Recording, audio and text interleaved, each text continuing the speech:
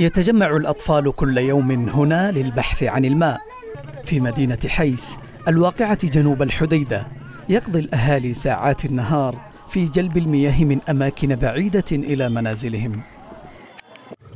توقف المشروع الرئيسي للمياه في المدينة بسبب الفساد كما يقول السكان ولم يبقى لهم سوى هذه المصادر الضعيفة للبقاء على قيد الحياة. الآن في مديرية حيس نعاني من الماء.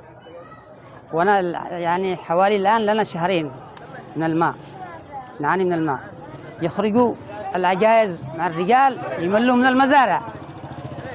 طيب الشيء الثاني الوايد بثمانية ألف ريال. الواحد داخل بيته ما بيش معه ما يدري ولا رب العالمين.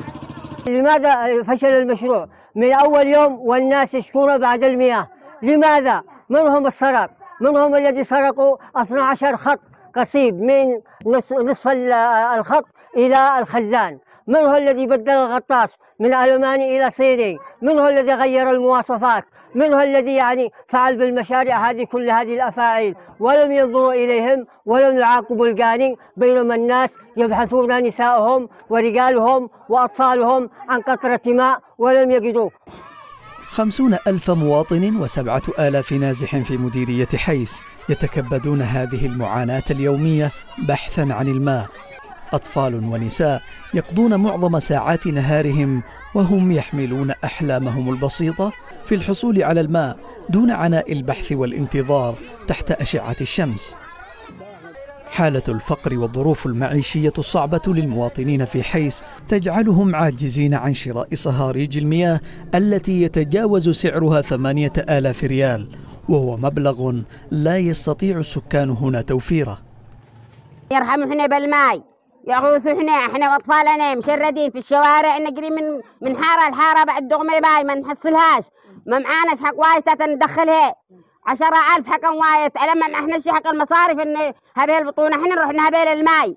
إنه كل شيء نحيا بالماء.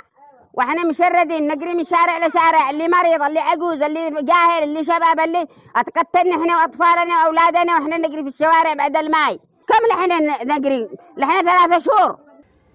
مشروعان لتوفير الماء كانا يغطيان احتياجات المدينة.